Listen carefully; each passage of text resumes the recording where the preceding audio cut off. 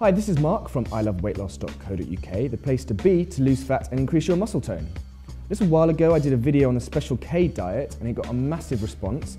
Um, so today I thought I'd delve into the snack bar debate. So it seems we all want the easy route, whether it's thinking about standing on a vibrating plate for three minutes is going to give you a great body, to wanting to eat bars to lose weight pretty much manufacturers uh, have caught on to this and are now specifically making healthy snack bars that will help us lose weight. But will they actually do so?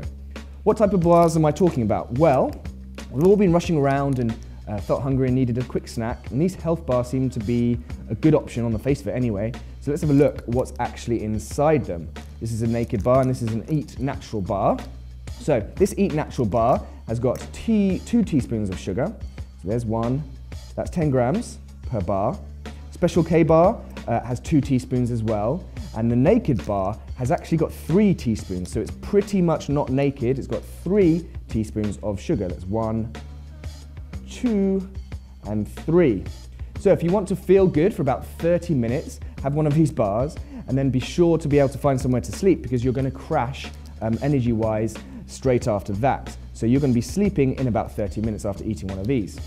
Now, some better options are coconut flakes, or you could simply make this recipe that should be showing up here on my left.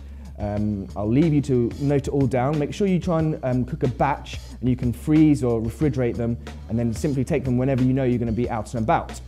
As always, the best discussions happen over at iloveweightloss.co.uk, so go there now and leave a comment.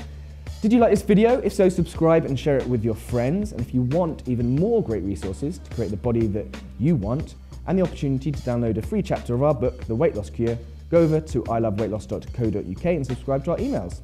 Thanks for watching, and we'll catch you next time on I Love Weight Loss TV. This Eat Natural bar has got tea, two teaspoons of sugar. Special K bar uh, has two teaspoons as well.